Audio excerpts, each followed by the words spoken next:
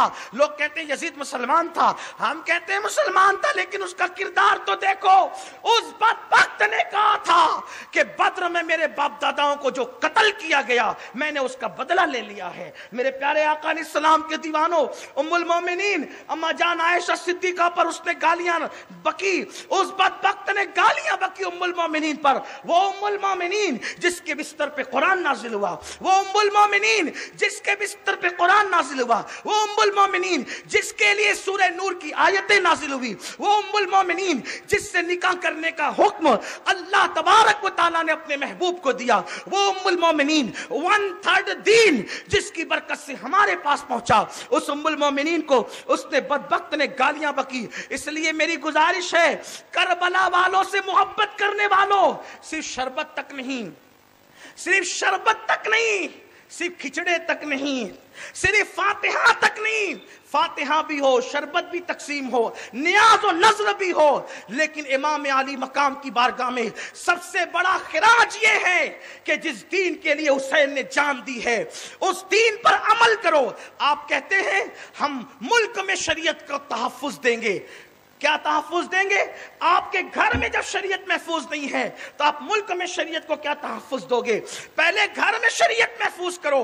शराब का बाइकाट हो, दाढ़ी मुड़ाने का बाइकाट हो। अगर एक बाप अपने बेटे को कह दे कि अगर तू दाढ़ी नहीं रखेगा तो मेरे घर में मत रहना। बताओ, वो बेटा कब ज़रूरत करेगा दाढ़ी मुड़ाने की? लेकिन बाप खुद कटा करके फेंक रहा है। वो बेटे को कब कहेगा? एक बाप के नमाज़ नहीं पढ़ेगा तो मेरे घर में मत रहना। वो बेटा कब ज़रूरत करेगा नमाज़ छोड़ने की, लेकिन हमने दुकान को जो अहमियत दी है, वो नमाज़ को अहमियत नहीं दी, हमने इस्लाम को वो अहमियत नहीं दी। घर की बेटियाँ बेपर्दा घूम रही है, घर की खातन बेपर्दा घूम रही है। इमाम आली मकाम का एक आखिरी जुमला सुन लो, फैसला तुम्ही को करना है।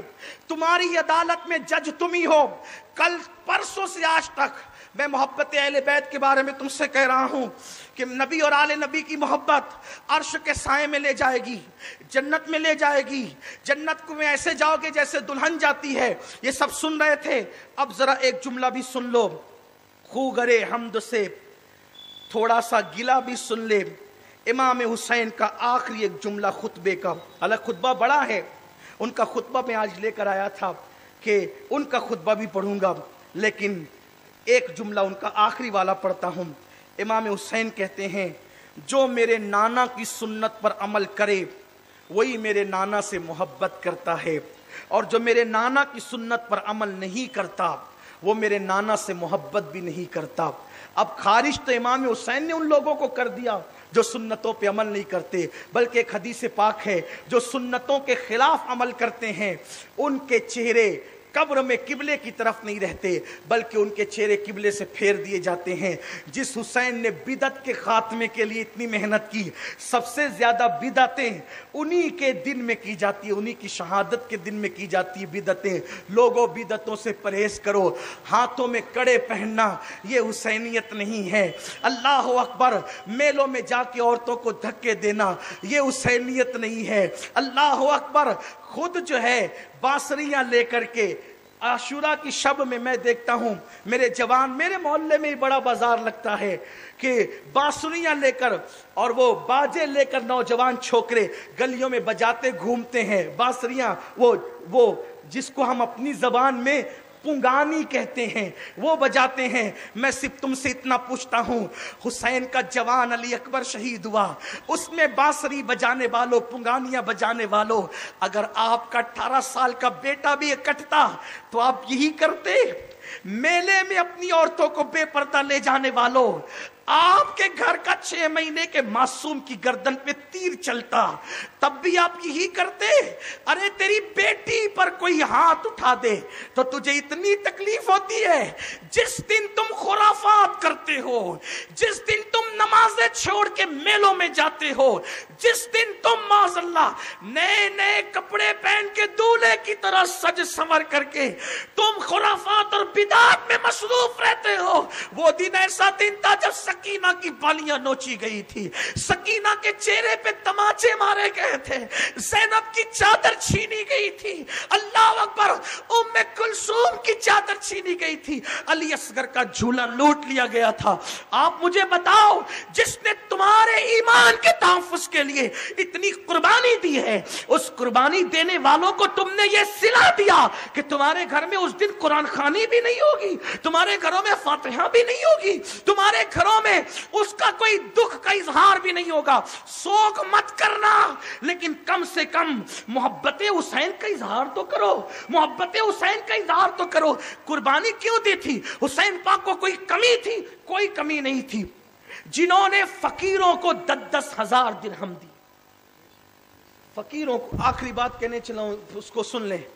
हज़रत ओसामा की अयादत के लिए, जब ओसामा बीमार पड़ गए ना, ओसामा की अयादत के लिए ओसामा बिन जैद की इमाम हुसैन गए वो रो रहे थे। हज़रत ओसामा रो रहे थे। इमाम इमाम पाक ने कहा, ओसामा, क्यों रो रहे हो? ओसामा, क्यों रो रहे हो? कह मौत मौत को देखकर। कहा, मौत तो देख रहा हूँ, हुसैन, लेकिन साठ हज़ार रुपये मेरे ऊपर कर्जा है। साठ हज़ार रुपये मेरे ऊपर कर्जा है। कौन देगा मेरी तरफ़ से? मैं गरीब आदमी हूँ। मौला हुसैन ने कहा, फ़िक्र मत करो, मैं दूँगा। जो दूसरों के साठ साठ हज़ार खुद अदा कर दे, उसको कोई कमी थी? कोई कमी नहीं थी। दौलत थी, माल था, बेटे थे, इज़्ज़त थी, मदीने वाले इतना एहतराम करते थे, इतना एहतराम करते थे। एक मरतबा मुल्क शाम में किसी ने किसी से पूछा कि मैं मदीने जाऊँगा तो कैसे पता चलेगा कि हुसैन यही है? मैं मदीने जाऊँगा, मैंने अभी तक हुसैन को देखा नहीं है। मदीने जाऊँगा तो पता कैसे चलेगा कि हुसैन यही है? बास मुसन्निफों ने हज़रत अमीर माविया रदी अल्लाह का नाम लिखा है कि उनसे किसी ने पूछा कि मैंने हुसैन को देखा नहीं है, मदीने जाऊँगा तो कैसे पहचानूँगा? तो उन्होंने बताया, सब अदब के साथ गर्दन झुकाकर, जिसके सामने बैठे होंगे, और पूरी मस्जिद में जो सबसे खूबसूरत और बावकार होगा, उसी को दुनिया हुसैन कहते हैं। आप गौर फरमाएँ, आप गौर करें कि इमाम अली मकाम का इतना एहतराम था कि लोग सर झुकाकर मदीने मनवरा में उनके सामने बैठते थे। कोई कमी नहीं थी। लेकिन ये चाहते थे कि भाई जो लुटाना है, लुट जाए, मगर अल्लाह का दीन महफूज रहे। आज जो अजाने, नमाजें, दीन, कुरान, शरीयत हमारे पास है, ये सब मौला हुसैन की कुर्बानियों का नतीजा है। और याद रखना, आज अगर कोई खिलाफ शरीयत काम करता है तो उसके खिलाफ जो भी उठकर खड़ा है जो उसूल और रहनुमाई कहीं से मिलती है तो उसका नाम करबला है। करबला रहनुमाई फराहम करता है लोगों को बातिल के खिलाफ उठकर खड़े होने के लिए। तो हमने यही सिला दिया। हज़रत इमाम अली मकाम ने कहा, मैं अदा कर दूँगा साठ। कहा, मेरे मरने के बाद अगर आप अदा करेंगे तो मैं कम से कम कफन में बोझ लेकर जाऊँगा। कहा, नहीं भाई, मैं मरने के बाद नहीं, आपकी मौत से पहले अदा कर दूँगा। वो सारी फेरिस्त मुझे दे दो, ले ली और घर गए और कर्ज वालों को बुलाया और हज़रत ओसामा के विशाल से पहले पहले साठ हज़ार की आपने तकसीम फरमा दी। ये इतनी दौलत थी, इतना एहसान करते थे लोगों पर। मुसलमानों, आज दिन हमारे पास से निकल गया। हम आज दीन से दूर हो गए। दीन शरीयत हमारी ज़िंदगी में नहीं। आज मुस्लिम लड़के, नौजवान लड़कियों पे बदनजरी करते हैं। ये तो यजीदियत है, खुली यजीदियत। खुली यजीदियत तुम्हारे मोहल्लों के अंदर गांजा चरस के धंधे होते हैं। बदन पे सफ़ेद कपड़े बड़ी बड़ी दाढ़ियाँ, सरों पे टोपियाँ, गांजा चरस का धंधा करोगे तुम मुसलमानों के मोहल्ले में? याद रखना, अल्लाह को मुँह क्या दिखाओगे? अल्लाह को मुँह दिखाना है। अरे रोटी का टुकड़ा तो कुत्ते को भी मिल जाता है। अगर पेट की आग बुझाने के लिए हराम कारोबार तुमने खोल रखे हैं तो अल्लाह को मुँह क्या दिखाओगे, खाओगे कितना? कितना खाओगे? हराम छोड़ो, हलाल की तरफ़ आओ। सुन्नतों पर अमल की तरफ़ आओ, बिदतों को छोड़ो। बिदत, चाहे वो अमली बिदत हो, चाहे अकीदे की बिदत हो, सब बिदतों से तोबा करो। शराब नोशी से निकलो, जुए के अड्डों से निकलो, औरतों को जुल्मन तलाक देने से बचो। ये सारी चीज़ें जुल्म, ज्यादती की इस्लाम के खिलाफ है। और एंड इस पर करता हूँ। करबला की दास्तान सुनने के लिए आने वालों, खवातीन से भी कहता हूँ, मेरी बहनों, जिस रसूल ने औरतों के लिए कहा कि मेरी मस्जिद में, यानी मस्जिद नबवी में नमाज़ पढ़ने से बेहतर है कि औरतें अपने घर में नमाज़ पढ़े। नबी की मस्जिद से अफजल औरत के लिए घर में नमाज़ पढ़ना है। अब मुझे बताओ, वो औरतें मेलों में निकले, झुंड के झुंड बनाकर हम देख रहे हैं, मुस्लिम औरतें बगैर किसी मर्द के, बगैर किसी महरम के, होटलों पर, जंगलों में, पहाड़ियों में इधर उधर अकेली नज़र आ रही हमारे शहर के बाहर। और फिर हर रोज हादसा सुनने में आता है, वो फुला की बेटी के साथ ये हो गया, वो फुला के बेटी के साथ ये हो गया, वो फुला की बहू के साथ ये हो गया। वहाँ गए थे क्यों?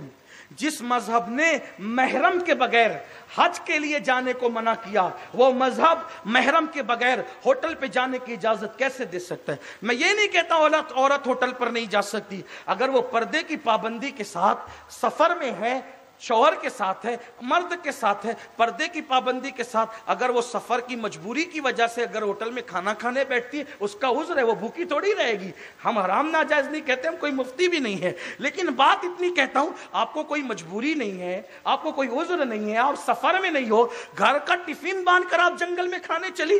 अरे, जिसको मस्जिद नबवी में नमाज़ से ज़्यादा सवाब घर में मिलता है, कि उसको घर में नमाज़ पढ़ना, वो घर का खाना हो, होटल पर ले जाकर के खा रही है। कोई मना करने के लिए तैयार नहीं है, कोई बोलने के लिए तैयार नहीं है, चौपाटियाँ बन रही है, इज्जतों पे सवालिया निशान उठ रहे हैं। ये सब सूरत हाल है। अगर हुसैन पाक से मोहब्बत है, पूरा शहर इस बात पर जो है, वो काविश करे, कोशिश करे कि हम सब अपने अपने दायरे अमल में, चाहे वो आलिम हो, चाहे वो अनपढ़ हो, चाहे वो ताजिर हो, चाहे वो तालिब इल्म हो, कोई हो, हर आदमी अपने अपने दायरे अमल में शरीयत मुताहरा को तहफ़ फराम करे। इस पूरे पूरे माले गाँव के अंदर दस लाख से ज़्यादा मुसलमान बसते हैं। अगर उसमें हम पाँच लाख भी मर्द पकड़ लें तो अगर सारे मुसलमान दाढ़ी रख लें तो इंशाल्लाह माले गाँव में पाँच लाख दाढ़ियाँ लोगों को नज़र आएगी। जिधर नज़र उठाएँगे, उधर दाढ़ियाँ ही दाढ़ियाँ नज़र आएगी। हर घर की ये बच्ची बुरका पहनने लगे इनशाला जिधर नज़र उठेगी, उधर बुरका। लेकिन बुरका अल्लाह के लिए हो।